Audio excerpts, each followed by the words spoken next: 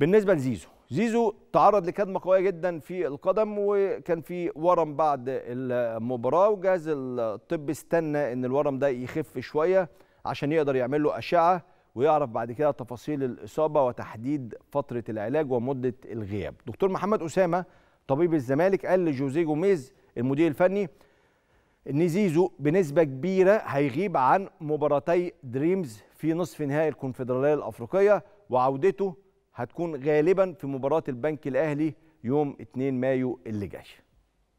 يعني زيزو وهتبقى خسارة كبيرة جدا. بنسبة كبيرة خارج مباراتي دريمز في الكونفدرالية الأفريقية. للأسف يعني.